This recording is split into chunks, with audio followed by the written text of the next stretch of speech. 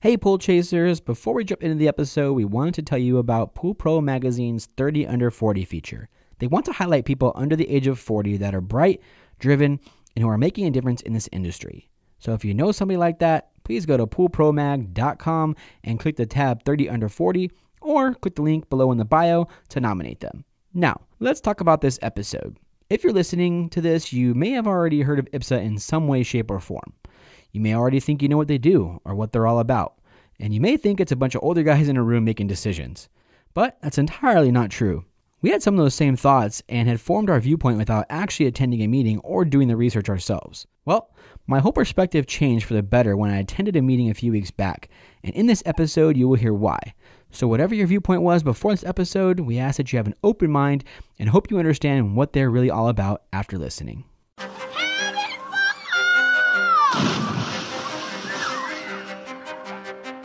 Welcome to your go-to podcast for the pool and spa industry. My name is Tyler Rasmussen. And my name is Greg Villafania, and this is the Pool Chasers Podcast. All right. Well, thank you guys both for being here in the studio today. We appreciate you guys coming all the way up here. I appreciate it. Thank you for having us. Excited to be here. Thank you.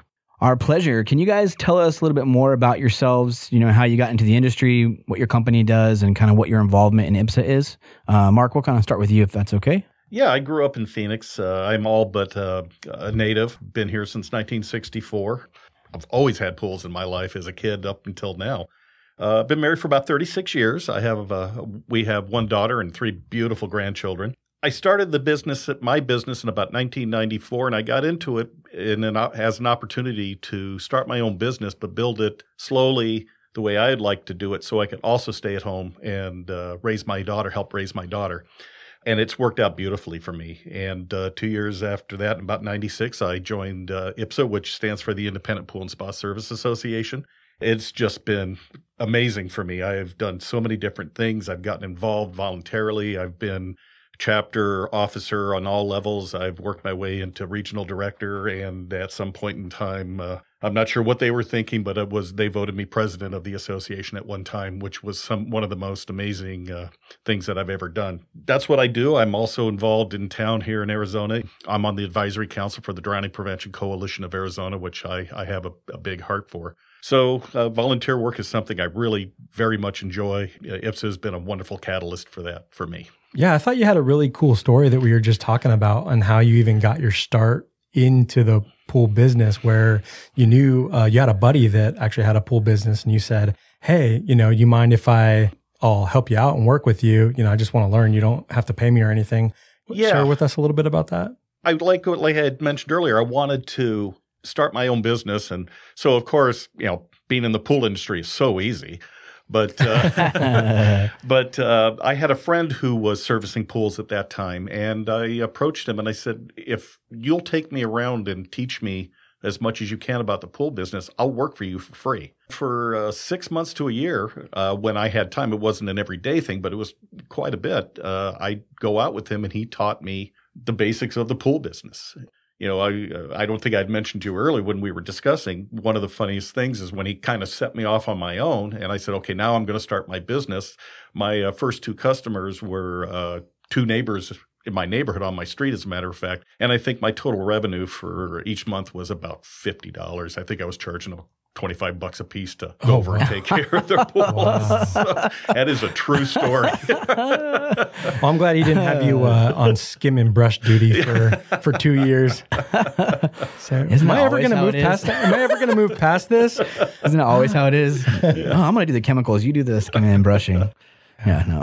36 years later, you're still working for free. Yeah, well, pretty much. and brushing. That's funny. When did you, so was he an IPSSA member? No, no, he wasn't. I've got all sorts of funny stories. I don't mean to take over, but no, that's what we're doing here. Uh, yeah. People said, "What?" We've had numerous discussions, Steve and I, and a number of people. What made you join IPSSA? And, well, I went on the website, or I did this, or I learned this, and this, and this, and this. Now, with me, I was driving down the street, and this is so. This is so true. I was driving down the street, and I saw a bumper sticker on the back of somebody's truck and it said, in, you know, IPSSA was an IPSSA bumper sticker, Independent Pool and Spa Service Association, and there was a phone number, I think, and I called that's how I joined IPSSA. And I said, Oh my "Ooh, goodness. cool. I could be with a bunch of guys like me. And that's at the end of the day, that's the true story of how I joined IPSSA. And that was would have been about 95, 96 when, when I joined. That's pretty cool. Bumper sticker advertisements. it's cool. All right. Thanks for sharing all that. Appreciate that. How about you, Steve? Yeah, I grew up in uh, Minnesota. I've been here since 97 and I've tried really hard to lose my Minnesota accent, but it just keeps popping up. Uh, we didn't have any swimming pools growing up. We had lakes. I watch everybody here in Phoenix while we take care of swimming pools uh, complain about their green water. And I'm like, man, you've seen nothing. We used to swim in the Mississippi River. It was brown as coffee. and so, you know, growing up around lakes and rivers, swamps, mud holes, whatever, uh, coming down to Phoenix, our, our lakes were the pools. And growing up in the land of 10,000 lakes, we're in the land of how many hundreds of thousands of pools. And so it's kind of cool. It's it's just a different kind of water. Having been a person who nearly drowned as a child, I've kind of feared water, which it's ironic that I work in my career around water, but I've always told people I'm okay with that because I can pretty much stand up in almost every single pool. If you don't mind, well, what happened? Uh, sitting on the end of a dock and took a football to the back of the head and it knocked me down into the water and I took on water and so it was kind of I, I don't know just how close to drowning it was, but it was enough to scare the pants off me. I was probably about kindergarten, first grade area, and so that was quite a experience. But I, I've always been a mean dog paddler. I never really did get into a real good, uh, solid swimmer. Definitely not any competition for Michael Phelps or anybody like that. I, You're like in survival mode. You know how to. Exactly. As long as I can see shore, I can probably get there. If I can't see shore, I'm just going to take a big old gulp and call it quits because I'm not going to get there. But uh, yeah, it's I, I'm married. Uh, my wife Heather, and uh, we've got four kids. We've got a daughter from uh, Heather's first marriage. She's uh, Maddie. She's off and married on her own. She lives in Gilbert, and then Heather and I have four, uh, three boys together. Uh, they're 12, 10, and 9. They're a handful. She's a stay at home mom, and three boys plus myself is a lot of testosterone in that house. And so she's pretty much ready for a break when I get home. But uh, it's great. What do three boys do for fun? Well, I always kind of watched other parents uh, getting into the technology part of this world, and I said, "Man, I'll never let my kids sit there and play video game after video game." But my kids play a lot of video games. Until they went to school, and that's what everyone else is doing. yeah, so I kind of had to accept that, and I thought, you know, the military put a commercial on TV a few years back that actually highlighted that. They highlighted a kid playing video games, and then they kind of transitioned it off into the war field, and I thought, well, maybe I am okay with this. Maybe they can do something good with it. But uh, they do a lot of other stuff too. I my my oldest is is one that really enjoys going out shooting with me. I I enjoy going out shooting when I can. Uh, the middle one loves cars, and I love cars, so he's always asking, "Can we go to a car show?" Or you know, he might even want to try to save a couple bucks. Say, "Hey, hey, Coop, you want to go for some ice cream?" And be like, "Nah, let's take the money and put in our cash count for the next car." I'm Oh like, man, dude, you just kind of hit the heart there, man. You, you got you got like a buddy for every uh, Yeah. each one of those. and then the youngest one, Lincoln, he's you know he's kind of that I'll go just about anywhere thing. He's he he'll he'll do the car thing, but he hasn't quite got into the gun thing yet. He's uh, as the youngest, he's still kind of got his eyes open. I was the youngest of four kids myself, and I I, I appreciate him because I kind of sat back in the distance and I watched my brothers, and thought, you know he didn't get away with that, so I'm going to learn from that. And Just gonna be a floater. Yeah, it wasn't. I wasn't the spoiled little baby of the family. I was kind of like I watched them get in trouble for stuff, and I kind of learned how to get away with not getting in trouble so much. But came here in '97, got into auto sales. Like I said, I like cars, and it just really wasn't doing it. I I, I didn't like really ripping people off. I, I think a lot of car guys get that stigma, and I think a lot of car guys actually do that. That's well earned. Yeah. And so I was looking for an opportunity to get out of it. Uh, another guy, a friend of mine, was working for a paddock pools retail store and he was just doing it for kind of something to do. And I thought, you know, I'm going to ask him if they're hiring. This car gig is just not doing it. And he says, Yeah. He said, Why don't you go down and talk to, I think guy's name was Dwayne. And I went in there and I took a job for, I think, $7.25 an hour to get out of the car sales business.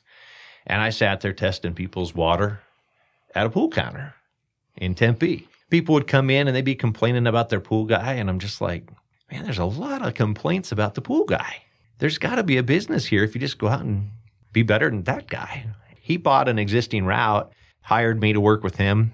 Uh, we did that for about two years together. And then I decided to go off on my own and I started my own pool service. Uh, I was a one poler for a number of years. Uh, worked for a Lowe's home improvement store while I built my pool route. So I'd work on pools during the day and work on stocking shelves at night. And then I went off and decided to trust that I was going to be okay and ran pools exclusively. And then I hired my first guy and grew some more and hired another guy and grew a little bit more. And uh, a couple years ago, we decided to also get into the uh, pool reverse osmosis process. So we bought one of the trailers from Pure Water Industries out of San Diego area. We run that as well. So we're That's trying awesome. to keep going with two businesses, so to speak, and uh, that's been good. It keeps us busy. Um, How do you like the RO business? I love it. It's probably the greatest thing I really enjoy is I I do like people. I'm a people person, love to talk, and it generates a lot of conversation. You get the people walking the dog on the sidewalk, and they'll stop and they'll ask, "What's this? Where's all the water? Where are you going to take it?" I'm taking it anywhere. I'm putting it back in the pool. We're saving it. And so it's fun because it generates more questions and more opportunities to talk. I've had people pull me over on the side of the parking lots off the freeway and ask me questions about it. So it's different, it's fun, and I don't have to compete with Amazon. Mm-hmm. And so the internet sale thing is kind of not something I have to fight with on that. So yeah. it's a good business thing. Yeah, it's pretty crazy how much attention it brings to somebody's house. Because I had my pool RO'd Yeah. uh, less than six months ago, and it was just like, like what the heck is going on over there? This big old rig in front of the Yeah. house. You know what I mean? Right. You could just definitely tell because most, you know, RO trailers or whatever have crazy artwork and designs Yeah. on it. So it's definitely a good marketing piece. That's for sure. Yeah, absolutely. Going back a couple years, I, I remember uh, being at one of the SCP branches and seeing this IPSSA thing. And I thought, I'm going to ask the counter what IPSSA is all about. So I asked for their uh, input on what the advertising on the wall was. And he says, Well, it's just a meeting. You should go check it out.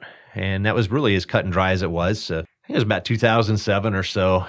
Went over and attended one of the meetings and decided, you know, this is something I want to be a part of. So I, I joined it, became a part of it, like I said, back in about 2007. And five years ago, uh, started my serving the organization by being the vice president of the East Valley chapter. Did that for two years, as most vice president succession goes into the presidency. And so I ran a two year term as the president. And uh, about six months ago, I stood up in front of them at the end of my term and I said, Well, I, I've always told everybody I think we should be willing to serve our association. We're a volunteer organization and we need volunteers. So I, I sat here before you four years ago and two years ago and said the same thing. And I'm going to say it again. If you want me to run your chapter, I'll run your chapter again. I, I'm willing. Uh, I think they had more confidence in me than I'd had in myself, but they asked me to run another term. So I'm in the middle of my second term, um, leading the East Valley chapter. And so Congrats. That's awesome. Which appreciate is it. the that's the biggest chapter in Arizona, right? Uh, biggest in the region, actually. Arizona and Nevada is Region 8 for the IPSSA Association, and uh, East Valley is the biggest one. Uh, we've just recently split off, uh, started a, uh, I believe they're going to call it the Southeast Valley chapter. Southeast Valley chapter. Uh, they're going to run that out of the Santan Valley area. Uh, one of the Superior branches down there is going to host them. Superior Pool Corp, they're all really good about hosting us and, and letting us use their facilities, which is outstanding. They're a great association and great asset to the pool businesses and uh, associations as well. But that will take a couple people from our chapter, but we're big enough that it's not going to hurt us. We can kind of help support them, help them grow, and hopefully things down in the Southeast Valley of the Phoenix area will flourish with their chapter. So when you went to the first IPSSA meeting, what was it about it that you really you actually wanted to join? Like what was it about it Sure. that just got your attention? I remember sitting there listening to a couple of vendors uh, just get up there and want to be a part of other pool guys and gals, listening to a little training tidbits. Uh, somebody might ask a question and say, "How do I get rid of this problem?" or "How do I, you know, install this?" And there was a willingness of guys in the room, competitors trying to help one another. Well, that's real simple. You just do it this way.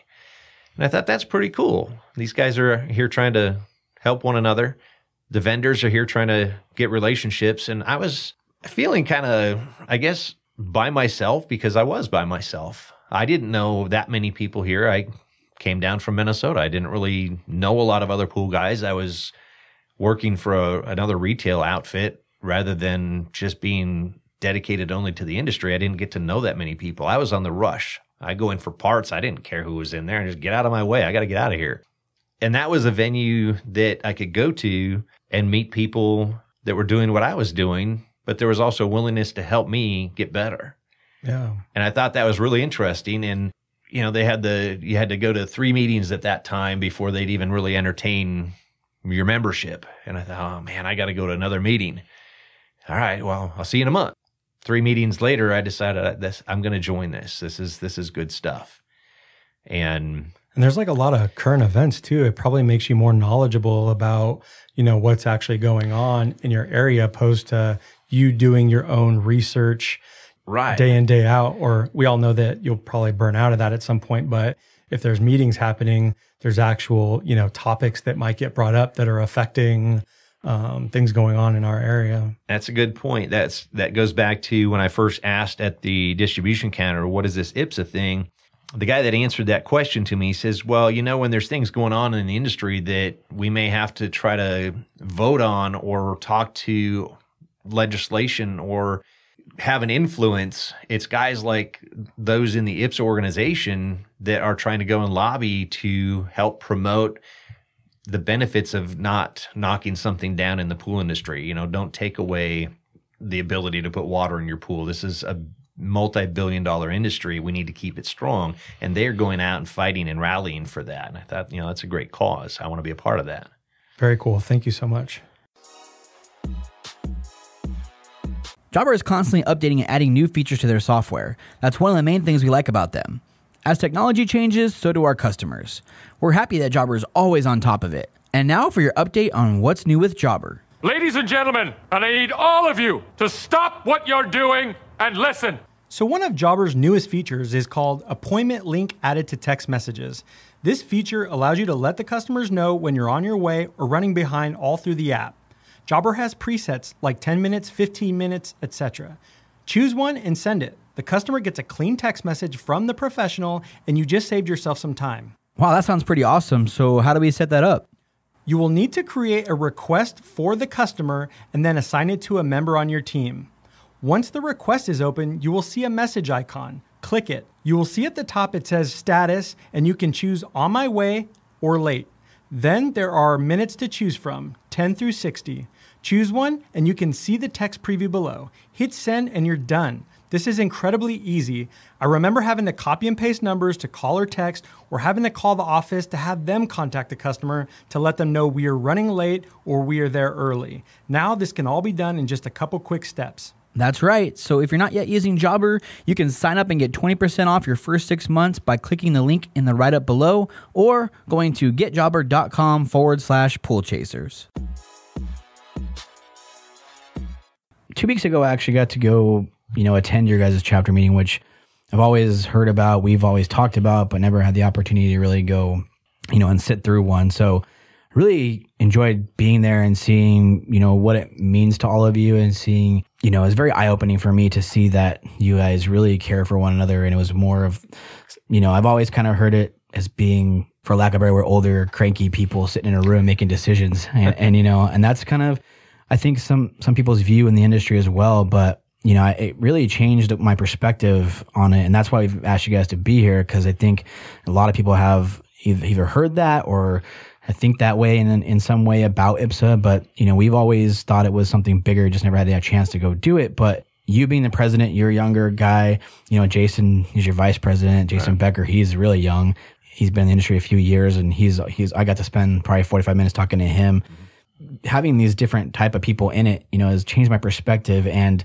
wanted to kind of dive into what IPSSA is exactly so that we can kind of explain it maybe to people if you've ever heard of IPSSA, you've ever had questions about IPSSA, or, you know, just kind of want to know more about it and what it actually does. So, can you explain what IPSSA stands for and what it's designed to do for someone in their business and maybe some of the history behind it? Yeah, uh, IPSSA stands for the again, I the Independent Pool and Spa Service Association. I can get into great details. It was actually what we are now was a formation of two other. There was something called CalIPSA in California and IPSA, which was the Independent Pool and Spa Association.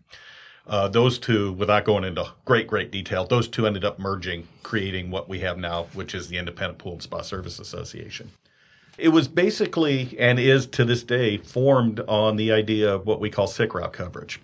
Those of us and those of any of your people look at your podcast, if they're in the pool industry and they're running their business and maybe they're just like we used to call or still do call a you know single pole pusher, what do you do? You break your leg, you fall off a water feature on somebody's pool. Who, how do your pools get serviced? Now, maybe you're lucky enough you have a nephew, you might have somebody that can step in, but that's generally not the case. So we were founded on the idea of having your fellow members, the other people in the association working with you. So uh, we just finished, as a matter of fact, in our chapter, a sick route. Uh, some poor guy, I'm not sure how he did it, but crushed his foot, couldn't walk. So he had somewhere close to, I believe, 80 pools. Uh, something to that effect.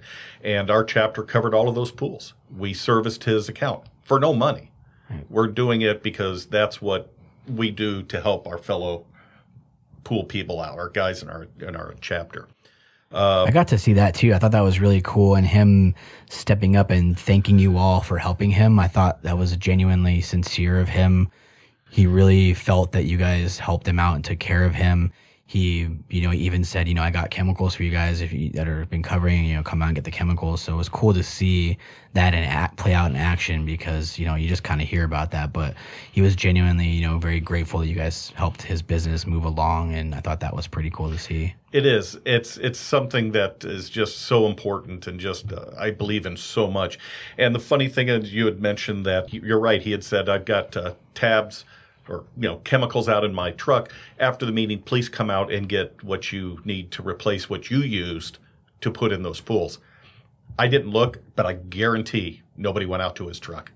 I guarantee nobody. I heard a few people truck. say, "No, it's okay, man. I, you know, Yeah. I got you" or something. That was that's really cool. It's and that's just a small thing, and it's not about free chemicals, but it's about the camaraderie. Mm-hmm. It's about yeah, we got you, buddy. We, got you covered. It's not going to kill us to throw a few tabs. And that respect is there. It's like the thought that counts. You know, the that you would say, "Hey, come out here and get some chemicals." That's a really cool thing to say, even though you know most people are not going to do that. Right. You know, it's just the fact, like, you know what? I don't have a problem covering that guy's pool, man. He really appreciates it. I mean, you know, you are a member, but um, just knowing that people really do appreciate that because you know it's not easy. You know, covering these pools and just doing it in general um, is not an easy thing to do.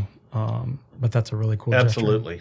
And, uh, and so obviously, uh, Steve and I feel extremely s- strong about uh, sick route coverage, but there is more uh, that we have. Steve was talking about, and I was talking about earlier, joining, and, and inevitably, if you ever talk to an IPSSA member, the first thing that most of them will say was, "Why did you Why did you join IPSSA?" Well, the insurance. Well, yeah, we have probably the best insurance in the industry. Uh, it, and I'm not just saying that; it is outstanding. We actually, if you're a member, you you get life insurance. Uh, we have what's called accidental medical. If you, I mentioned earlier, if you're walking in somebody's backyard, you're walking on a water feature, you fall, you break your leg, you're covered through this as being a member up to up to five thousand dollars.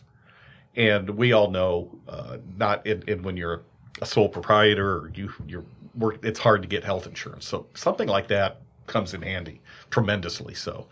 But I think another point on that is even if you have good health insurance, oftentimes that comes with a big deductible. And from what I understand, this is also able to be used towards that deductible. That's correct. So for those that have great insurance or those that have, hopefully everybody's got something. Right. But even if they have minimal insurance or catastrophic coverage only, this is a help as Mm-hmm. part of the membership. That's just part of the membership. Um, probably something that, that you can't ignore. What we do is education. How do we? We have to educate ourselves if we're going to be successful in this business. This is a perfect opportunity for that. Uh, part of what we're doing, we have been talking today about uh, us here in the East Valley or us here in Region 8, where we put on a show every year, the Desert Pool and Spa Show. We do that not just for IPSSA, but we do that for the industry. So we try to put on a trade show for that. And so these are all kind of things. And we have people come in and talk at the chapter level to us about different things. We have vendors that are coming in. And I know sometimes people think, well, I just don't want to get a commercial. Well, it's not usually that way. They kind of come in and talk about there's a lot of q&a we're obviously working with their equipment and working with their product. So if they can come in and give us a little bit more detail and answer some questions this is a perfect opportunity to do that. Yes i understand that the world is so much easier than it was when i started 100 years ago where you know i had to read trade magazines and all that. Now you can go online and look stuff up but the opportunity to learn. And Steve also touched on a national level. Uh, we're out there working in the industry as a whole. Uh, we're working, our California chapters work extremely hard, and they get legislated, we all know, pretty hardly in California. And uh, so we're working those levels all the time to try to keep things fair uh, for us in the pool industry. Right. So I could go on for two and a half hours, uh, but uh, there's a number of things. It's, it's, I don't regret a second of being a member of this, and probably finally the camaraderie, the friendships. I have developed friendships that I have had over the years uh, that you just can't replace. Uh, funny story about our chapter: we had uh, a member of another chapter in our valley show up at one of our chapter meetings one time, and he just showed up, and it was prior to the meeting, and you may have even seen a little bit of it. Uh, mm-hmm. Guys are coming in, and oh, hey, buddy, you know, and everybody's hugging each other, asking how the kids are, how the grandkids are, how the wife is. Everybody's just getting along and shaking hands and and he looked at us and he says, What is going on in here? I said, What? What are you talking about? He goes, What is this, the love chapter? I said, well, Yeah, we get along pretty well. you know, so, uh, and that's, I love that. I, I, love the camaraderie. I some of my best friends uh, I've learned I've met through IPSSA, and uh, you know a couple in particular, and they don't even live in Arizona; they live in California. So it's uh, that's really cool. It's it's wonderful. So you mentioned that this is mostly for people that, you know, are just kind of have their route and they don't have, you know, big company like we had because we were asking, you know, we had about 400 pools. Would this be something good for us? And you guys had said it'd be good for, you know, more the networking piece and a, and a few other things, which we think is, you know, just as valuable. But can you, you know, talk to us about how this would be, um, why being an IPS, IPSSA member would be good for you know just the one person and uh, you know what do we? I don't want to say Johnny One Truck because I know that is that is in my head, but that's not what it well, is. Johnny One Truck's what we call the ones that don't do it right. Yeah, so, it's definitely not that one polar. I guess. Yeah, one polar. So how you know this would benefit the one polar? Well, I, I've been in both situations myself as a a single operator. The benefits, as I touched on before, you you get to have those relationships with vendors that you may not have otherwise. Uh, let's face it, in a small business, you need all the support you can get. In a big business, you need all the support you can get. When you got your vendor relationships and you're seeing them pretty regularly on a monthly basis, you have a problem out in the field, it's a little easier to call and say, Hey, this is Steve. Steve who? well, you know, Steve Ward. Like, uh, okay. And they'll kind of work their way through it. As you are at this meeting with them every month, you start to get to know these people. You, your relationships are building. They know who you are. You, you start doing more of their product. They start helping you learn more. You might get them on job sites and say, Will you teach me how to program a complex automation system or maybe even help me install it? It's not that you can't get that outside of a or association like IPSSA. You, you may be able to get that on your own. It's just you may develop a deeper relationship. You may develop a faster relationship and get that help a little easier. Then having employees, I've always taken the standpoint with my employees. I, I know a lot of guys, even in our chapter, think I'm crazy to let my employees in on some of the inside workings of my business they don't want their employees knowing any more than they need to for whatever privacy things that they may have, and that's fine. It's their choice. It's their business. We're all usually AAA personality guys that own our own business, and I invited my employees to come since day one. My point of view on my employees coming is they're also establishing those relationships. Thinking of myself, if I go down and get hurt, I've got my coverage from my fellow IPSSA members. But what happens if something worse, my death happens? These guys are actually protecting their employment. One, one is a family guy, one's a single guy. They're, they're protecting their future by getting involved. And now most vendors know my employees just as well as they know me. Some may even know them better.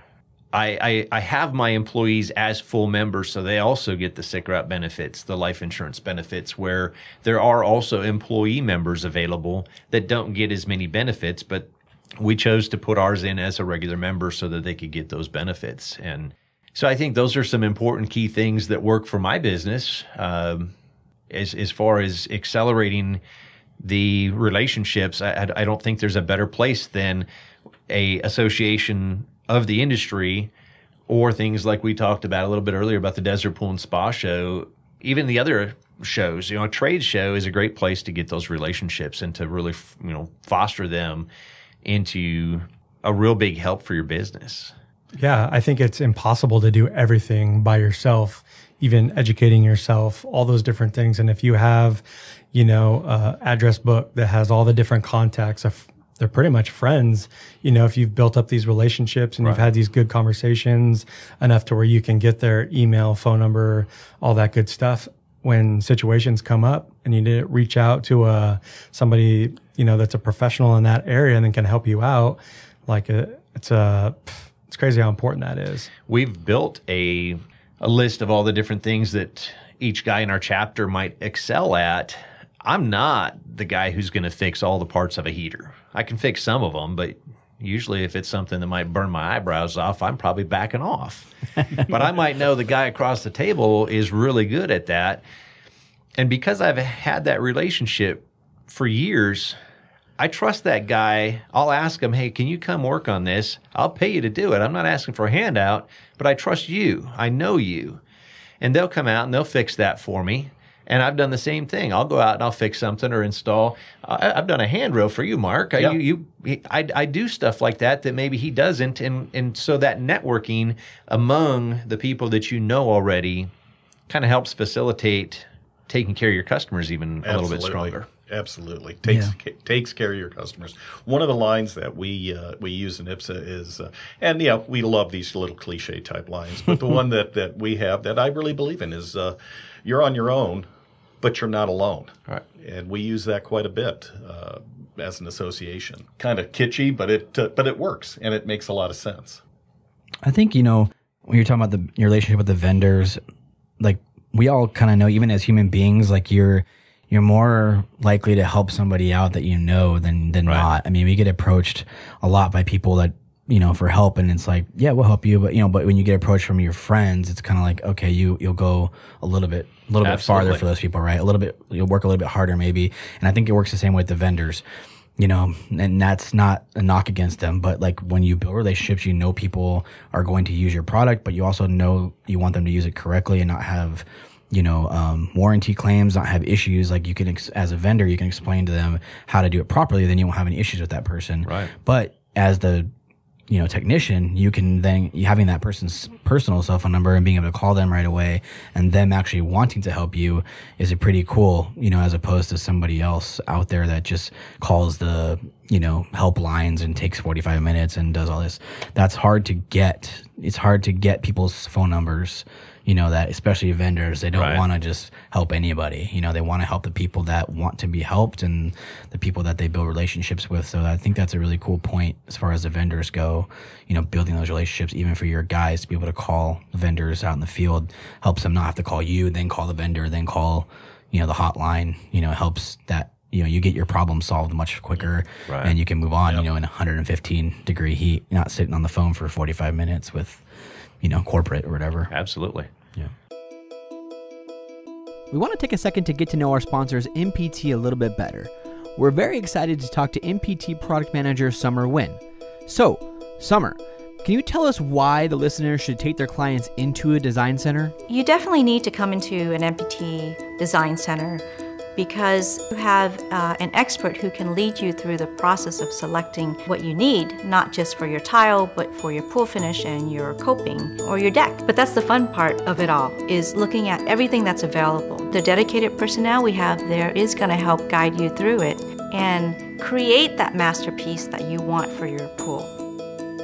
Pool tile is an aesthetic product, so you want to touch and feel. You actually really should take them outside in the sun to see how it, the reflection is in different angles. The samples you see, you can actually take them home with you. You need to be able to see how it will look in its true environment. So, coming into a design center allows you to be able to do that. Thank you, Summer. If you want to find out more, click the link below in the write up or go to mptpool.com. And don't forget to follow MPT Pool Products on Instagram and Facebook for the latest photos and product information. So, what exactly are the requirements to become a member? Every chapter is a little different, but in general, uh, Steve had uh, talked about it a little earlier. It used to be uh, where you could, you had to have three consecutive meetings, and we have meetings on a monthly basis. And uh, once you did that, uh, then we also have a water chemistry test uh, and you have to pass that. Now you can take it, I think, ten times now, and you can do that online and be voted in by the chapter. I'll be honest, in umpteen years I've been doing this, I don't think I've ever seen somebody not voted in if they've met these requirements. Uh, obviously, then there's a, a, certain amount of money, and actually, I'll defer to you to that one, Steve, because I haven't done it in a long time. But uh, well, I, I guess going back to one of the points that you're mentioning, uh, back when I joined, yeah, we had to go to three meetings. We had to have all these other different things. And through the years, we've kind of, there was one guy that actually, I believe it was in my presidency early on, that came to the chapter and wanted to join, and he was denied. And I thought, what just happened? And so we kind of went back to the table on it and we said, okay, so if this guy doesn't have any ingredient, I don't care which one it is, how do we get over this hurdle? And so we, in that point, I think he was a little too new. He'd come out of a different corporate job, and we used to want a year of experience as uh, the, the pool industry needs to be your main source of income for a year or more. And we went back at that and said, let's figure a way that we can fix this problem because not everybody's been there a year. And so we developed a mentorship.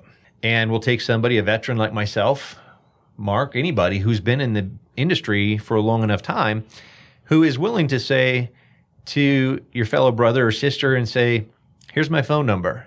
I will mentor you in any way that I can. I am available for you. We got over that hurdle of that one year experience because why let the guy learn things wrong for a year and then say, oh, by the way, let's see how good you are now? We wanted to help the guy or gal because it's open to guys and gals. And yeah. we wanted to help them get better while they're still trying to establish their business. And what's the likelihood he comes back when you denied him? That was a hard, hard sell. Probably we got not. him back, but, But it I was mean, tough. you know, in general, like is as thinking as that far as that thought process. If you're denying somebody from your organization, what's the likelihood, unless you reach out and bring him back, you know, what's the likelihood that person never comes back? He probably has a bad taste in his mouth Absolutely. forever. You know, Absolutely. And that, that's one of those things that we just, it, it was a bad taste in my mouth. Hmm. And having to look at somebody who wants to be a part of my association, not mine, but my chapter, our chapter, the one that I'm leading, and I got to tell this guy no. It left a bad taste in my mouth. And so going back to him and saying, you know, here's my number.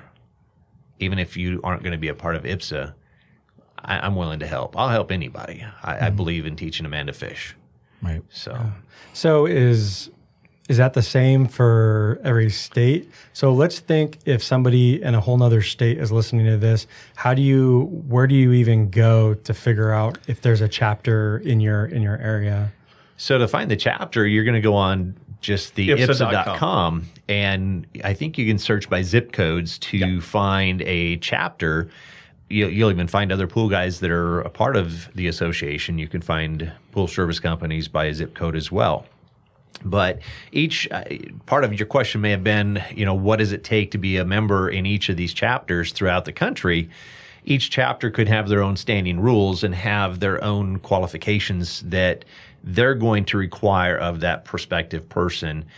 The, the story that I just told about somebody not having enough experience was part of our own standing rules Right. and we changed those because we just we wanted it to be a little more open Okay. The so, but so once you actually find, you know, you put in the zip code and it's like these pop up or whatever, do you get to click that and that's where you actually get to take that chemistry quiz and it gets submitted? Is that where all of that is done? all that information will come up there. Uh, there's usually information where the meeting is, uh, what time it is. What it's always like ours is the third Thursday of every month, and it's always at six o'clock. Uh, every chapter is going to be a little different wherever it is in the country. Uh, so that information is going to be there. So either a they can just show up at that time, or the usually it's the phone number of the president or the email address of that president, uh, and you can contact him him or her and get the information that you need and go from there. The only thing that I can think on the top of my head that is nationwide would be the water chemistry test. Uh, every chapter may be a little different. They're all going to be generally pretty close to being the same. Uh, we have a number of different ways that you can get in. Uh, fast track, uh, what we call fast track, which is if you've got a CPO certification, if your chapter cho- so chooses to do so, you don't have to go through three months, three consecutive months. If the chapter says if you've got these certain certifications, it doesn't have to just be CPO. There's a number of different certifications out there. If you have that and that chapter says we'll do it, fine. Then you pay your monies and you take your chances and you're off and running. Uh, but that's going to be on the chapter. But the only thing I can think of, and now what we've done is you've got a year to take your water chemistry test and you take that online and it's actually even open book. You know, the idea isn't trying to preclude somebody from joining is let's learn. You learn as much as you possibly can. And it's it's somewhat of a it's a 50 question test. It's somewhat difficult, but uh, uh, you get 10 or 12 times to give it a shot and, and pass. So and those tests are in the uh, they use the IPSSA basic training manual that oftentimes is referred to in various conversations. Uh, that's the book that's going to provide all the answers for that prospect who is trying to join. Those are awesome books. Actually, we're uh, fortunate enough to get some of those from Greg Garrett, and those are those are really good books. How long does it usually take um, to become a member? Like, if you do the quiz, you're doing everything. Like, how long does that take? You can start going to the meetings uh, Oh. right away, right? you don't even have to be a member and you can come to the meetings. We we want everybody to come. But uh, to answer your question, if you let's just say for the sake of argument, you've got certifications. If that chapter is accepting that, you're going to be a member probably within two or three days. You'll fill out the paperwork, you write the check to the treasurer, they send it off. Uh, when you do that, we actually act. Maybe a better way to explain it is with our insurance, and we have a preferred provider, but you can get insurance anywhere you want. But uh, with our preferred provider, we're pretty much acting as the underwriters. So if somebody has joined and we have voted them in on the chapter level, then our insurance is going to accept that. They're saying if we've gone through our due diligence and we think this person should be a member of our chapter, then you're fine. You don't have to go through and work through the insurance company to see if they're going to accept you. If we say it's okay, you're in. And so that's if you meet that criteria, it takes two or three days. Oh wow! It's it's pretty quick, but you know, there obviously there's certain criteria that has to be met. So Our own personal chapter, we meet as a board a week before we have our chapter meetings. And so the president, vice president, secretary, and treasurer will actually invite uh, my email and my phone number are in the IPSSA website for our chapter. And I'll, I'll get a phone call. Typically, it's every once in a while an email, but usually it's a phone call. Somebody will come on and, and ask a lot of questions and they'll say, Well, I'm interested in joining. What do I do? I will then invite them to the meeting, our, our chapter board meeting. So our board can then meet that person, ask them questions, interview them, so to speak, uh, rather informal, just get to know them, uh, kind of vet them, like Marc was saying. Is this person getting their income from the pool industry uh, primarily? It doesn't mean that they can't get income somewhere else, but it's their primary source of income. Have they got any credentials that uh, may be part of the fast track? But again, in our chapter, uh, we try to, if there's a hurdle to get over, that mentorship will help a lot of it. But then once we've actually had a chance as the board to uh, get to know them, the next chapter meeting, we will then actually present that person to the chapter, uh, introduce them, talk a little bit about them, let that person talk to the other members, and sort of be question and answer time, a little bit of an interview, and then we will vote on them then and there. Uh, that will then allow them to become a member relatively quickly. But the one thing that I think a lot of people need to understand is the insurance side of it. We can't just put them on the policy that day. It's usually going to be the first of the month. But the good thing about our meeting being the third Thursday of the month, if we get our paperwork in line quickly, we may have them insured shortly thereafter uh, being voted in. So.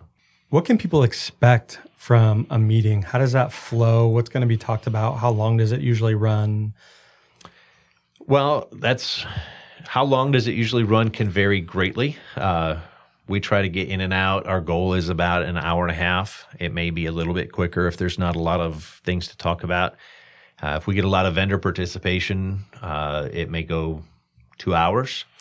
In general, uh, yeah, uh, uh, closer to an hour and a half, I would Yeah, say. that's our Uh, goal. the- what what we generally do is it's, we'll have a networking time beforehand. So the meeting may start at six. So we'll tell everybody, you know, show up at five forty-five. And uh, what we do in our chapter is uh, for a vendor, we're lucky enough that we get a lot of vendors that want to come and talk to our chapter. Well, if we let every vendor talk, we'd be there until midnight. and so we tend to limit them. If if you're the lead vendor or you're the and the, the uh, executive board works on that ahead of time, you're the vendor for the evening. You're going to be it. You got to bring us food. And that's and everybody's been doing this for so many years that they just understand. that, hey, you you want 15 minutes? We'll give you 15 minutes, but you got to bring us food. After that, everybody gets two minutes. And it's not that we want to control the vendors that much, but if they got time to talk, they're going to be talking.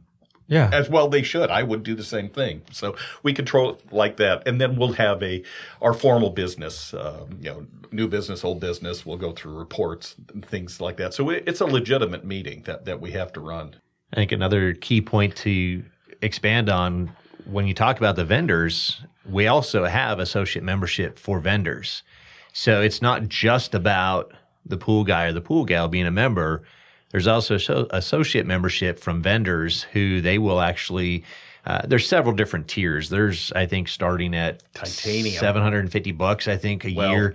But there are there are levels of m- membership that are thousands of dollars, uh, where they are that manufacturer is supporting IPSSA financially very strong. That's one of those things that can expand that length of that meeting a little quickly. Because if I get 20 vendors show up at our chapter meeting because it's a big chapter, I got to give them their time. They've they've supported us. I can't turn around and not accept them to speak for a little bit. So that may eat up a little bit of time right there.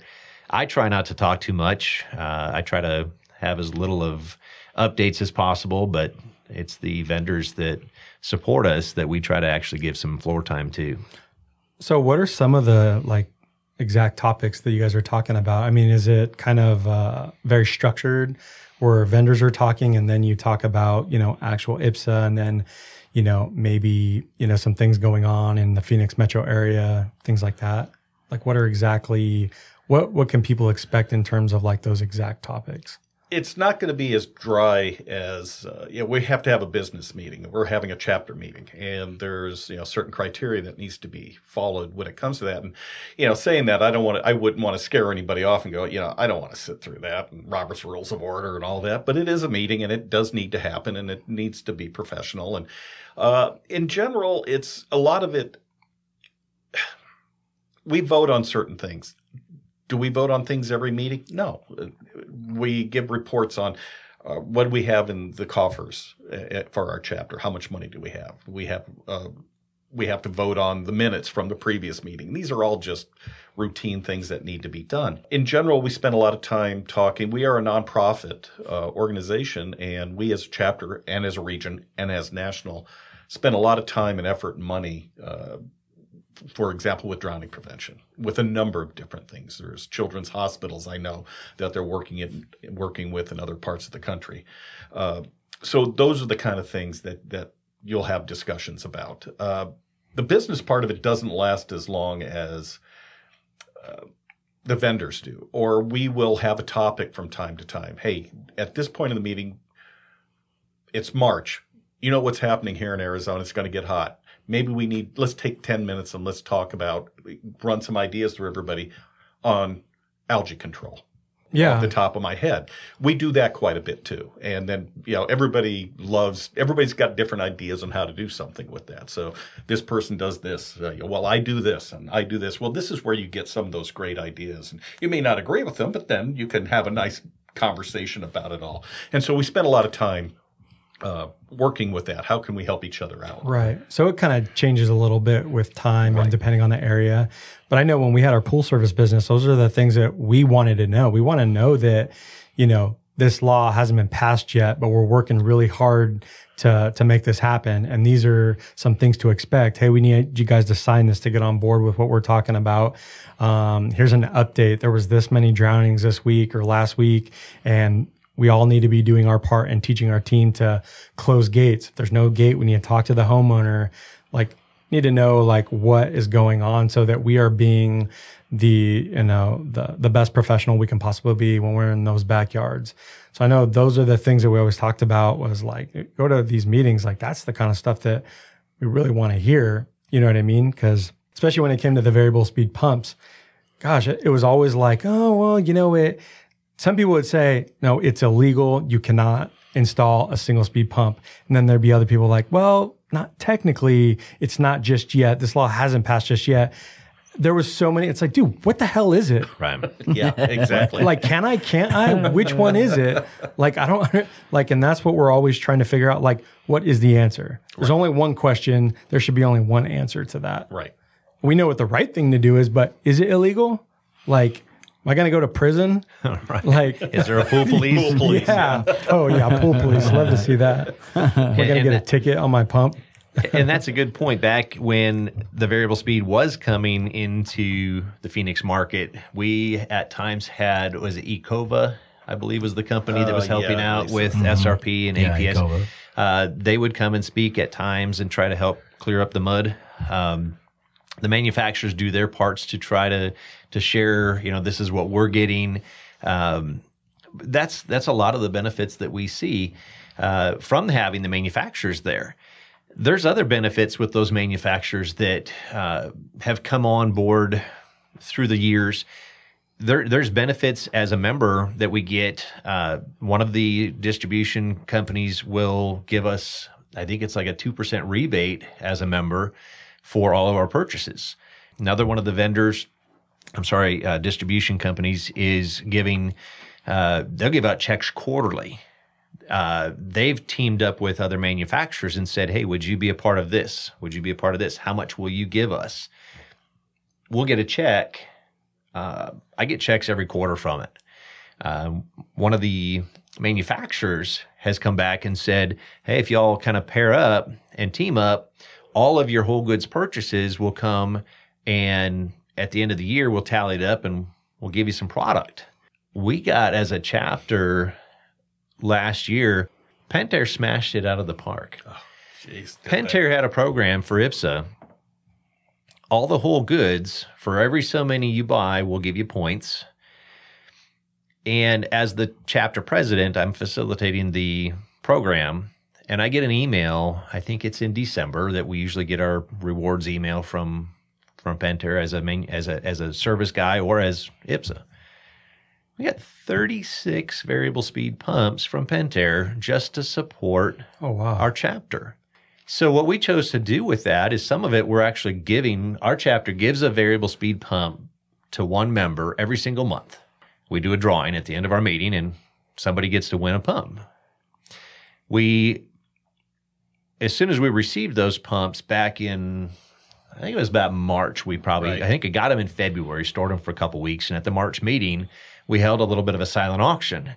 Kind of going back to what we do with our funds as an organization, we take that money and we put it back into the community one way or the other, whether it's drowning prevention efforts. Uh, one of the things that another benefit of IPSSA is they have a, a uh, education fund as far as on a national level. That's sometimes a little harder to get the funding understood. How do I get reimbursed for this? And so we're looking at some of the new stuff that we're trying to bring in on our chapter level because we are relatively strong financially because of people like Pentair. Hayward's trying to put something together that'll be similar. And we're looking at that thinking, we're a nonprofit. What are we going to do with this thousands of dollars? And so we're trying to put together a chapter level for East Valley IPSSA education reimbursement thing so that we as a chapter level can say, you want to go learn something that'll make you better for your business? Let's help you. Greg Garrett's class is a great point of view right there. Greg, being a part of this show, has some amazing classes available that he teaches. So, what if one of our members wants to go and take a class that he offers and maybe know how to do great startups? And we have those funds, we can help cover those expenses as a member benefit. Yeah, that's really No, cool. That's really good. That's really cool that you guys do that. And you're thinking real forward thinking, you know? I think a lot of people would do that. I got to see a lot of that actually happen. You know, I got to see you guys vote in a member, which was probably unique for me being there one time. Yeah. You know, I got to see that whole process of, It's like you being know, baptized. yeah, like him stand, you know, but I thought it was a cool thing. You know, you stood up and talked to the whole team, asked everybody if they had any reason. Well, you sent him out of the room that time. You know, you, you talked, that, let him talk and he got to kind of explain who he was, what he does. Then you sent him out of the room. Then you guys had your own conversation of, you know, does anybody oppose him being here? But I thought it was cool. You gave every opportunity to talk about him if they had something, if they knew something he was doing that was shady or some reason he didn't, you didn't think he should be involved in chapter. Then, you know, you could talk about it there. But obviously you guys didn't with that guy and you voted him in, brought him back in, made him a member. I thought that was a cool process. You know, I, I don't, I thought I thought you guys reported on on deaths, which was interesting. You know, and, and the number of drownings that had happened so far this year. I thought that was a very you know different approach, but very good to under for you know people in the industry to understand. And you know, there's different things I got to see that never really had seen before. So, you know, thanks for letting me come by and check it out. But I really thought it was definitely an eye opener on like you know what you guys do, especially since I had my own thoughts about IPSSA, you know, Right. by hearing it about s- from other people, which we always talk about. You know, you should make your form your own opinion, whether or not you have a mentor. You know, just don't don't do everything your mentor tells you to do. Make your own opinions on Right. on your own things, because this industry is pretty, you know, gullible to that. I think you know, oh my my mentor told me this, and that's the way it sh- should be done. But you know, form your own opinions. We always kind of talk about that. Well, I've always used IPSSA, uh, you know, to my benefit too. Uh, I go into a backyard, somebody calls me, and I'm going to go see them for the first time, and possibly they want to hire me to service their pool. They don't know me.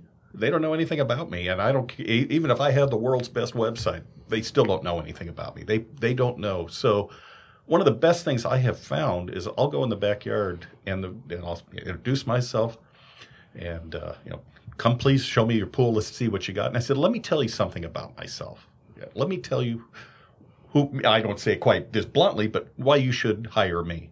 I said, first of all, I've been in the business X number of years. I'm also a member of IPSSA. Let me explain what IPSSA is and why that's important, why I'm in your backyard. And I explained to them about insurance. I explained to them about continuing education. I explained to them about, you know, the one line I always use with everybody is, yeah, I'll just tell you right now, I don't know everything, but I sure as heck have access to somebody who does. If I can't fix an issue with your pool, I guarantee you I can probably find somebody who can. And I said, you're not going to get that with just everybody. And uh, so, That's a really cool thing to say because, you know, showing the potential new client that you're responsible and you r- run a responsible company that, hey, if something happens to me, because in the real world, I could very well break my foot or something like that, just know that this pool will get taken care of. Might not be me, but you'll get an email saying that somebody else might be covering it, but I have insurance and the route actually is backed as well. So another, uh, you know, IPSSA member that is more than qualified will be out here helping out with that. So Exactly. I think, you know, that is something a homeowner probably won't ask you, but I think, you know, the likelihood of you getting that pool, you know, just went up, you know, that much more because they're like, you know what? That's what I need. I need somebody that is educated, is responsible. And I mean, that's at the end of the day, that's really what they want is somebody they can depend on. Exactly. Yeah. You know, it's funny you say that. I've actually had people, prospective customers, call. I haven't seen my pool guy in three weeks. And I've actually transitioned that thought process now after being in IPSSA for so long. I said, well, maybe they got hurt. Any chance you got their phone number? I'll call them. I might be able to get him to join IPSSA because we could have helped him. yeah, I hear a phone ringing by the equipment. Oh my God, I think he's over here by the equipment.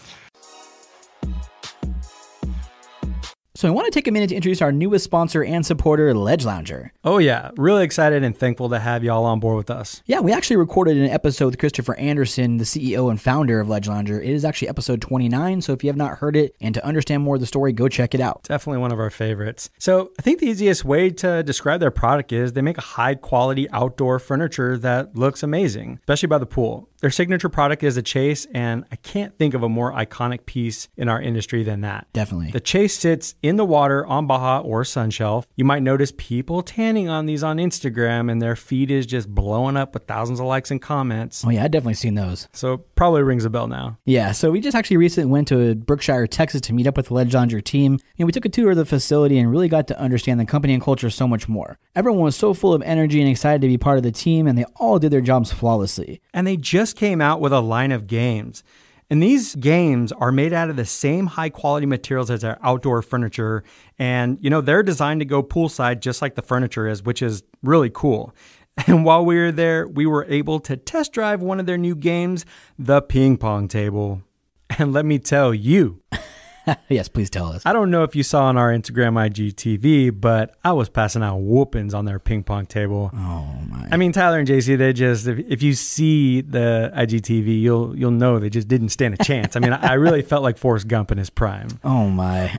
just kidding. Y'all tried. I mean, you you do get an A for effort. Oh, thanks. so anyway, if you want to find out more about Ledge Lounger, go to ledgelounger.com. So we talked about a little bit about sick coverage. Can you explain? So, if, let's say I have a pull route and I get hurt, what's the process of that? How does it get covered? What do you guys do as a, as a chapter? How do you figure out, you know, who covers what? Right. So we actually have a sick route coordinator uh, position in our chapter, and that person will uh, usually facilitate that phone call or email. Uh, oftentimes, they'll call the president if they can't get a hold of the sick route person and we'll get that news that uh, somebody went down, broke a foot or shoulder, or got cut. It's not for the sniffles. It's not for someone. Uh, I had a guy go down last week from the heat, and I'm looking at it thinking, well, if this goes a week, we got coverage, but it has to be a week or more. It's got to be under the doctor's care. Again, it's it's it's for really truly I can't work. Right. It's not that I'm tired. It's not that I'm overheated unless you're overheated so bad that you had a heat stroke and you're out of work for a month. As long as you've got a doctor's note that says, hey, Steve's legitimately sick, he really can't work, and I need you to excuse him for this much time, then we can actually enact sick route. And along those lines, and not to interrupt, mm-hmm. it, when we say a doctor's note, we don't know, need to know the details. Right. It's not none of our business. You know, but if we get a note from the doctor saying Joe is not doing well, he's going to be down. That's all we need. If it's right. a legitimate doctor's note. So uh, anybody who's thinking about joining, saying, "Well, if I go down, I don't want them knowing what's wrong with me." We don't need to know. No, your privacy is still at stake. And your privacy. You don't need pictures. You're not going to no. get physical. Although I have those pictures. Yeah. sure. I woke up Sunday morning. Uh, I don't know what it was, two years or so ago, and uh, Sunday morning I wake up out of bed, and my phone's going nuts, and I'm like, "What's this?" And I have this gory picture of a fellow pool guy's leg that's just it looks like oh, it it's just in pieces. Oh uh, he was working on his truck and it fell on his leg. And Oof. for some reason, he thought I needed to see the pictures. And I'm one of those guys that I'll just take your word for it. But uh, that's how I woke up on Sunday morning. What did you that, text back? Are you okay? uh, I texted back and I said I didn't need to see that, but uh, are you okay? Yeah. Um, it was it was comical, but coming from who it came from, it really actually kind of fits the personality. Yeah. Um, I called him up. We talked for a little while. He was actually in the hospital. Uh, I could see that angle from the the picture that he was in a hospital bed. Um, but we've got uh, again emphasizing your privacy. We we don't need to know the details. If you want to share them, that's your choice. We don't need to know them. Um, we have sick route cards that when you become a member, we hand you one card that basically says this is all of my personal information. This is where I'm going to keep all of my pull route information. And so the sick route coordinator holds all of the pool company's information. Where's this person's home? Where what's his phone number? Where does he keep his cards? And then as a company, I'm supposed to have a current file of all of my route. So then that sick route coordinator knows, hey, Marc went down. Marc's card says, here's where he lives. Oh, good. His cards are at his home. And so I can go over to his house and pick up all the cards and the gate keys and all that stuff. And now I can go and I can notify the rest of our chapter members saying, Hey, Marc went down. We got to cover him. And we're going to use our, our chapter because of our location uses a particular SCP location to drop the cards at and we'll notify all of the members. The members then have 24 hours to go and grab those cards and then facilitate that sick route coverage and take care of that guy's pools for however long we need to. We've done sick route for as little, I think the shortest one I did was two weeks, maybe even one. Yeah, and the longest one I think Long. we did was seven months. Yeah, maybe even a little longer. Um, Seven months. yeah. Well, Hopefully, I passed through Christmas. Did I get through Christmas? Get your tips. Yeah, a lot of it is we chose to do that because the way our we had discussed earlier uh, what you can do on a chapter level. Sick route is not in perpetuity forever. Uh, it's for a specific amount of time. Now we as a chapter can vote to extend that. But let's say, for example, you get eight weeks. After eight weeks, we need another doctor's note. Again, we don't need to know the details, but we need to know that Yeah. you're still not going Still to, under the care of you're a still doctor. under the care of a physician. Make sure that you know you're also not taking advantage of Exactly. the And that's- system that's- because there's other people that need to be taken care of. So I got two big things now. I'm really thinking about this, and the first one is, what if they don't come back, and they like their injury is bad enough to where they just they're not going to make it back. Have you guys ever dealt with a situation like that? Certainly, we've dealt with that, and we've dealt with death, uh, people passing away. We will work with that uh, specific person. If their injury is so bad that they just can't work again, then we will work with that person under a specific timeline. So we'll give him time to either a sell the route, b turn it over to a son, whatever, wife or whatever. a wife, or whatever the case may be. If they keep us informed on that, if they say, I'm never going to be able to work again, we just don't go, okay, bye. We'll work with that person. Now, we can only do it for a certain amount of time. Uh, but uh, we've dealt with that with death. Uh, somebody's passed away, so there is a certain amount of time that we can work with the spouse. Uh, it gets really difficult. I don't know how much we can help sell it. I think we got to stay away from that aspect of it, but we can maintain the Give route them the time. to give them the time to do what they need Right. to do. We can't really get involved. It gets very legal. And, Sure, sure, sure. so- I was just curious if that ever happened because obviously, if somebody gets injured that bad, there is those possibilities that you know something else might have to happen. Absolutely. So the other thing is, what if I have a pool route? It's fifty pools or whatever, and I need the time. What if the person that is actually doing my route is getting me negative rev- reviews or different things like that? I'm sure that it's really difficult and it's really you just never know what's going to happen. But, you know, what do you guys do about something like that? I'm sure these people that are going to be, you know, taking over the route are somewhat mm-hmm. qualified. So the qualifications are going to come into play of kind of that if we're accepting them as a member, we're thinking that they're going to be qualified. If they're a new person, there's a mentorship. I have gotten those calls as the president during a sick wrap. Hey, Steve, I'm getting feedback from my customer that uh, nobody's been to this pool, or I'm getting feedback that the pool quality is not there. I don't know if somebody's going. It's real simple. It's picking up the phone, calling the person, you know, getting a hold of the sick route coordinator, saying, "Hey, I, I I need the name of the person that's covering this pool. Do you have somebody on that address?" Yeah, it's so and so. So I'll call that person. What's going on? Are you going to this pool? Well, yeah, I'm going, and we'll we'll find ways to double check on that whether I have to go and and facilitate it myself or just a conversation. But it's really rare in in all of the time, all of the sick route that I've actually been a part of. I just don't hear it That's awesome. very often. Yeah. Um, there is honor among men, so to speak. Uh, we all hate to take that time out of our own busy schedule and say, "Oh man, I got to go cover somebody else's pools now." Nobody likes to do that, but as soon as, like you were saying, Tyler, you got to see one of the members stand up and actually say thanks. Nobody wants to use it, but you're really thankful that it's there. How's a guy going to keep his business for two months during the? Well, we're in monsoon season right now. How are you going to keep your business afloat? It, it's going to be hard. So how many pools are you actually? Are they divvied up? Are you taking like They're a little bit of okay? So other people could take another day or something. How does that? Typically, it's going to be divided up. Say somebody's got 80 pools, like we are talking, this one was about that. We'll try to take our membership and divide it out and say, okay, we have, let's say we have, if we had 40 members, everybody's going to get two.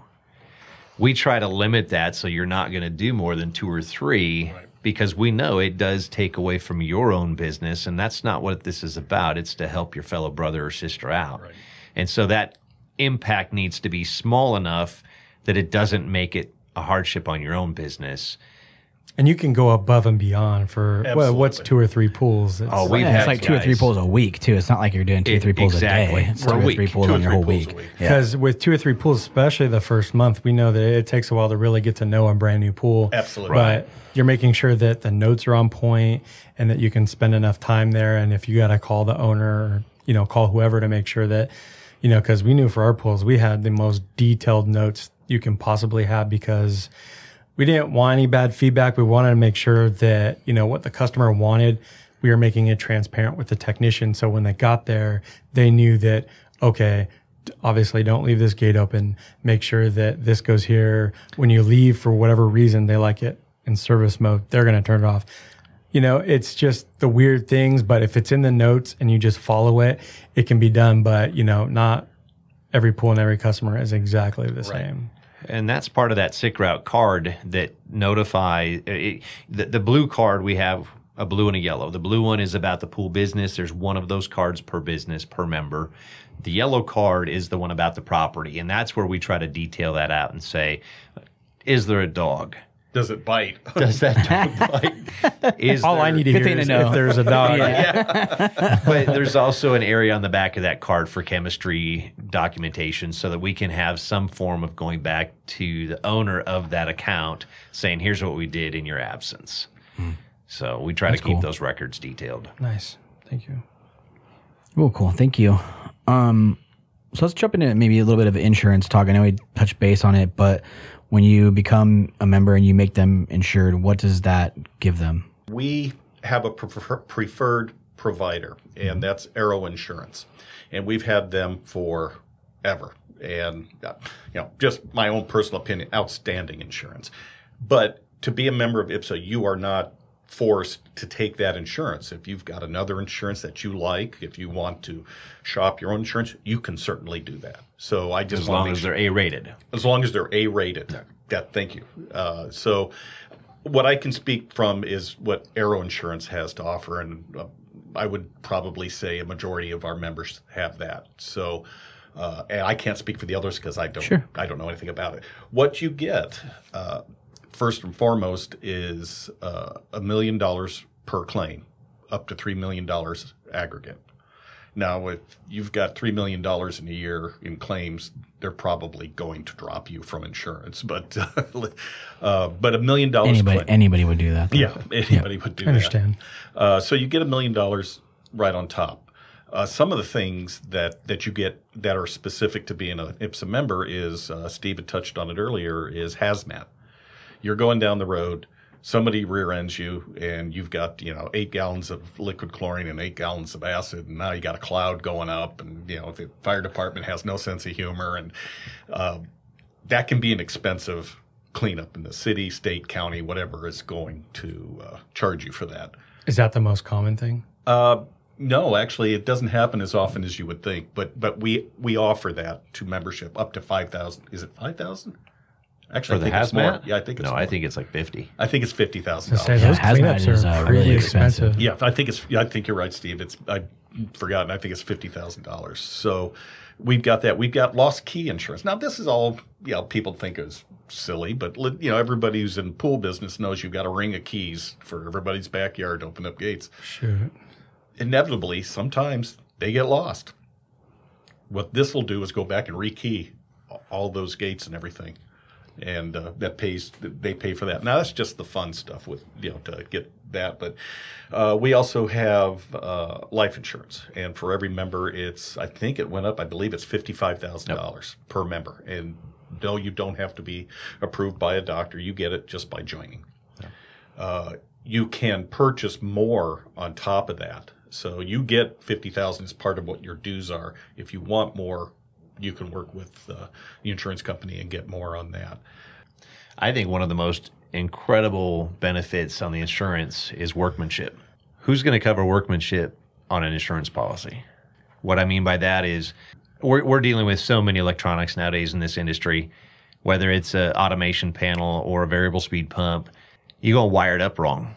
It's workmanship. They'll cover you. They'll actually ensure that whether it's you know a documented employee you know, obviously an undocumented employee, there's going to be an investigation. If they find that he's not on the list, there's no coverage. right. But as far as just about any of those things you can think of in workmanship, I can't think of a regular insurance provider that's going to say, sure, we'll cover that. The cool thing about Arrow is he's kind of gone through and thought of all the things that a pool guy or gal might do and say, we'll cover that. But also being in IPSSA and having all these manufacturers supporting you guys, it I'm not saying it's the easiest thing to do, but you could probably get on the horn and maybe get a representative like, hey, we messed this up. Is there any way we can get another, you know, automation set or a new pump or whatever? I don't think that's very common. Would be the easiest, but I would take my chances in being in an IPSSA. I've heard that story many times, Yeah. actually. It or doing it by yourself. Like, hey, yeah, uh, who is this? Yeah. yeah. Yeah, so that sucks, man. You should probably learn to do that better. better luck next time. Inevitably now, the way like you were saying, you all you were all saying the relationships you get you build now. Now you make that call. Okay, Steve, what'd you do now? You know, it's I've uh, heard that. Yeah, but it's always done in good fun, and but to have that kind of relationship, It really does come down to that relationship, like you say. It's it is absolutely incredible how many times I've heard those stories from other members. Uh, I know a lot of the vendors very well just because of being in this industry as long as I have in the same marketplace. Those kind of stories are actually quite common. Yeah. and they're they're cool. It, it makes you understand that there is a family network, so to speak, among. I, I think Arizona is, is a spoiled area. I don't care what what manufacturer you want to talk about. I think we got amazing vendor support here, Oh, and when we actually are meeting with those vendors on a somewhat regular basis, it just capitalizes on that. So Yeah, we are. I think we are pretty spoiled. we here. are, yeah. Who gets insured? You know, when you're when you are insured, just the person, or can you insure others parts of your company? If you have employees, can you can the they member get insured? How- himself is who gets insured. Now, along those lines, uh, Steve has chosen a different path with his employees. But if you have employees, they also offer employee insurance, and that employee insurance is basically the same thing. You're getting what you're not getting as an employee, for example, is you're getting less in life insurance. Uh, there's a couple other little. There's things. not sick route for the employee. There's no sick route for the employee right? uh, which is why Steve chose to uh, have them have your employees be full members. Right. Uh, so that's a way to do that. But the, you're getting the employee members are getting the same quality, the same insurance that a member is going to get. So if you have employees, you can cover them through that insurance. Yes. Right. Yeah. Cool.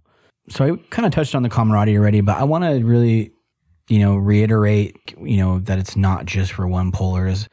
um, because I think that that's always been our, my at least my thought process, and I think there's definitely advantages, you know, if you run a company and have employees to be a part of it, and looking at it from that aspect because. You know, it's not just for that. Is it designed for that or was it originally? Yes. But, you know, there's a lot that can be gained by being a part of it if you run a company, right? If you have these people, just the camaraderie alone, having, like you said, having that index of people being able to call, like there's so much you can gain by being involved in it, you know, if even if you're not just a one polar. So, Yeah, it's kind of funny on that note. Um, this is speaking completely different side of it, but we have our board meetings, and every once in a while, our board meeting might go a little long. We meet at a restaurant, and I'll get home a little late. My wife will be like, "What did you guys talk about? How does your meeting go for like three hours?" I'm like, "Well." I got to be honest with you. It's not necessarily that the meeting went three hours. It's that there may be only four of us there, but we've gotten so involved with helping each other out in our own in, in each other's businesses we've built the relationships because we're serving together as board members we have gotten to know each other even better than just the members do but we'll sit there and we'll talk about how can i do this how can i do this and we've even made comments to one another how we value that relationship that we have actually established with each other because we're helping each other grow their own business, their their profit line, their knowledge, their wheelhouse of how do I fix something. But we'll also then take that back to membership also sometimes. It, it bleeds into everybody. There's times where after a meeting, there's people that can't get out the door fast enough. That's then true. there's there's people that will hang out in the parking lot at, at Pool Corp for an extra hour, myself included, more than more than once, talking Well, I, about. I was there for an extra hour and a half when I was there, and then you saw when I left, there was like nine people. people. still there. So and yeah, and that's think so. conversation about the industry. How do I do this? Hey, have you ever run into that? And it's we keep saying this camaraderie. It it truly becomes relationships about the industry and reaching out and saying, "How do I do this?" And and somebody's probably going to know. Like Marc said earlier, I may not have all the knowledge, but man, I got a lot of contacts, and I'll find the person that knows how to do that. And that's just there is not a number that you can put on that when you can look at your homeowner, whether you got 40 pools or 400 pools, when you can look at your homeowner and say, I can take care of you. super valuable. Yeah. Yes. Definitely. And that knows no age. I know sometimes that the criticism with any association, I would assume, is well, it's just for old guys. Yeah, just old gals and guys, and and it's it's not. Uh, it really. These, but this- in everybody's defense, it looks like it's for something out of the 90s or something. Right. And I'm just being totally honest. Absolutely. And I think um, you guys are doing a great thing. And I'm so glad that, you know, Tyler got to go down there and um, experience that and having you guys on the show have a definite, uh, definitely have a different look on what IPSSA is and all the different values that it provides. So, you know, it's definitely one of those things. Don't judge a book by its cover. Exactly. And, you know, just by maybe looking at the logo or, you know, going to the desert uh, pool and spa show. Right. Um, but we know that you guys are putting a lot more into that as well.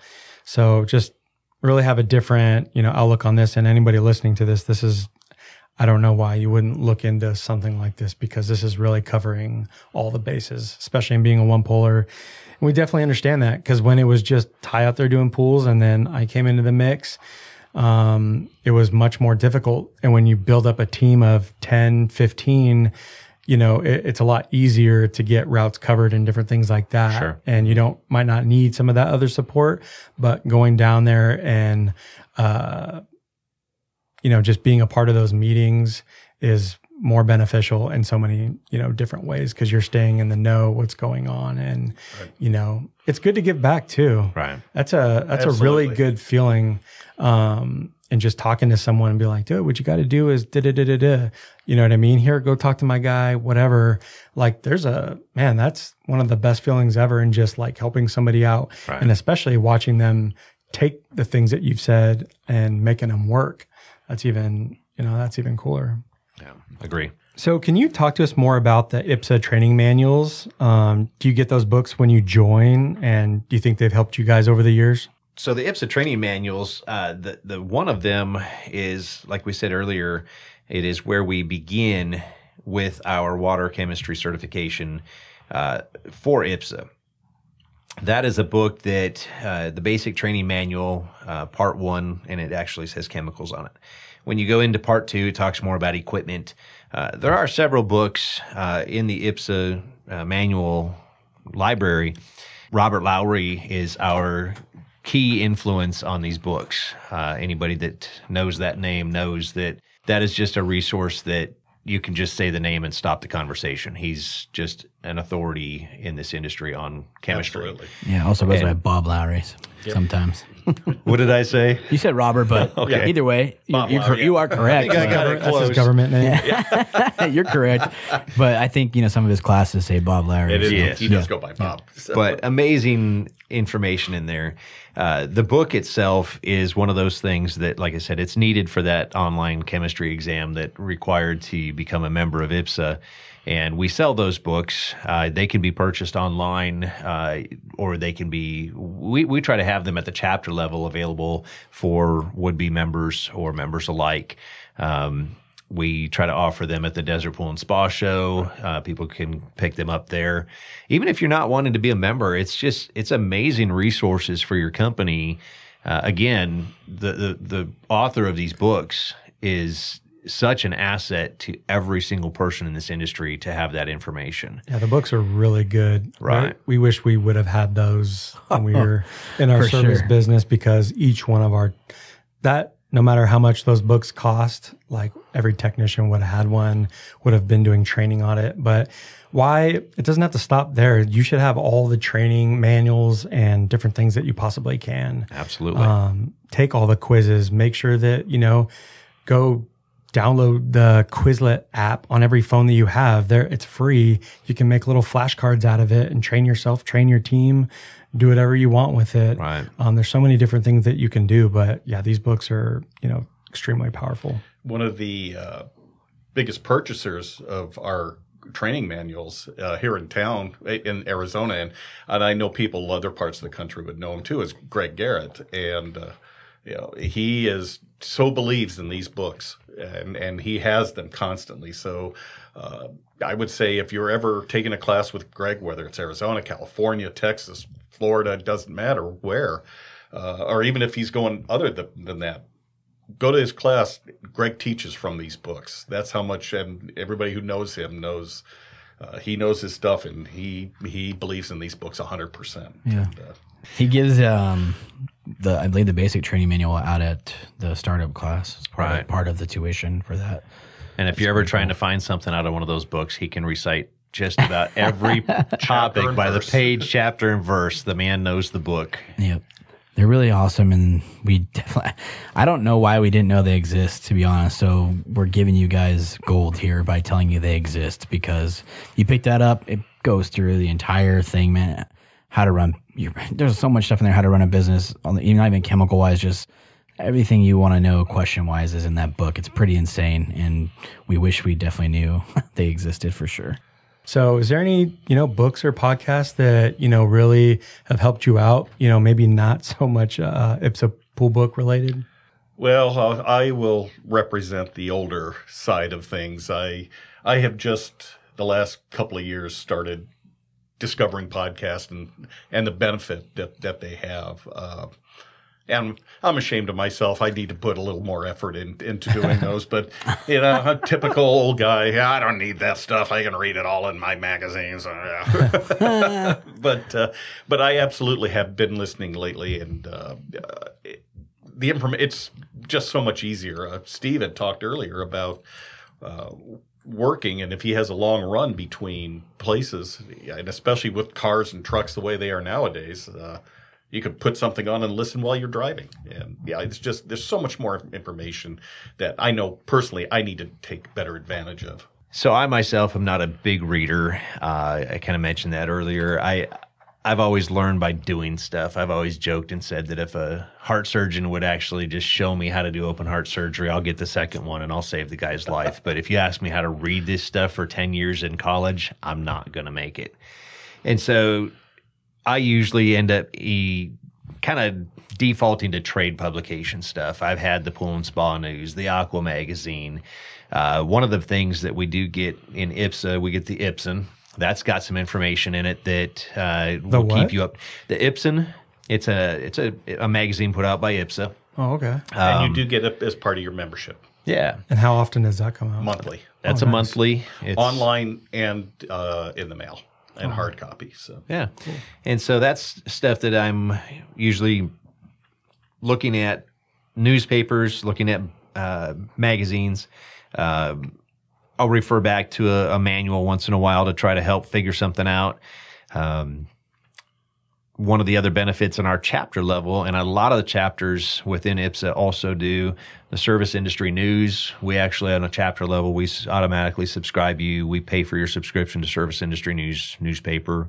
Uh, so a lot of it's just it's it's trade related information, and social media brought me as far as into the podcast world. It's funny. I, I call myself a tweener with technology. I still use notebooks. I, in fact, I use too many notebooks. I'm not sure which one has the right notes sometimes. Um, I've got a tablet and I've got smartphones. I, I try to keep going with as much as I can with technology, but I struggle sometimes really digging deep. You you mentioned an app here and there, and it's like, well, I got to check that out. I wonder if it could help me. I still don't think it matters though. I still think that all of you still need to write things down. And I'm learning that we're all different, but there's for me anyway, I have there's so much I can do on a computer, but I have to like remove myself from it. Right. And I have to write it down. It's like, yeah, I could put it on a tablet or something else, but it's like I gotta get my eyes because it's like this isn't the real world almost. Like I need to like tangibly write it. It's when that and pen it hits helps the you paper. remember- Exactly. Exactly, yeah. So I need to do something different. I don't. Um, it's something that I think will always be around, and if it's not, I think that'll be really weird. it's a But- level of commitment when you're writing something down. Yeah. I, I and, and I know somebody would say, well, certainly is tapping it in. No, there's a level of commitment to actually using your hand and writing Right. something down. And I like, I really do like writing something down, like my list, my daily list, and I like highlighting it when I'm finished with it. Yeah. I There's can school satisfaction. people on apps and different things you can use, but there's nothing like writing it down, like I got to get that done, and then getting it done and being like, skirt, Yep. And highlighting it off. You just can't. Is that a highlighter sound? Yeah. You'll never, you'll never have that satisfaction with an app of taking that piece of paper and crumpling that thing up and throwing it in the garbage can. There's something. No, I just let the pages stack up. Me too. flip flip, flip them over. But as far as you know, the podcast world, I gotta I gotta put a shout out to you guys. I hadn't really dug into podcasts, and on social media, I, I see one time pop up on a page this pool chasers thing, and I'm like, ah, cool, I'll follow that. And at that time, it wasn't letting wasn't leading into the podcast scene yet and at least not for me. I hadn't found it. And then all of a sudden, I see this Pool Chasers podcast. I'm like, oh, cool. Well, I got to check that out. That's that's pool stuff. I like the pool magazines. I like the pool newspapers. I like the pool books. Well, let's see what this podcast thing is. And so I got to, you know, hand it to you guys for bringing some content to us guys that I can throw. Like I said earlier, I'll cue it up in the truck for a drive and I'll listen to it or put a, a pod in my ear and, and listen to it while I'm working. And the content is valuable. And so it's been a podcast that I've been listening to. And one of the other ones, Born to Impact, is one that actually one of the other pool guys kind of said, Hey, you know, check out these things. And that's Joel Marion that, uh, a little bit of like more business help type stuff. And so it's, it's trying to push myself into the future content of getting more podcast into my world because it's, it's valuable information and it's so easy to just drive down the road and listen to music. Sometimes that'll set you free and it's great but sometimes taking that time to listen to some content that will help you better yourself it's just a valuable asset and i appreciate what you guys are bringing to everybody You're welcome. thank, you thank for you. saying all of that. And it's like there, there isn't any more excuses. There's a bunch of really good videos out there. There's, you know, a few podcasts. Obviously, we have ours. There's a ton of really good magazines, books. There's everything. So it's, we're trying to make it harder for people to say, oh, well, I couldn't find it. It's like, dude, stop playing. There's podcasts where Look you can listen. There's magazines. There's books. There's videos on YouTube.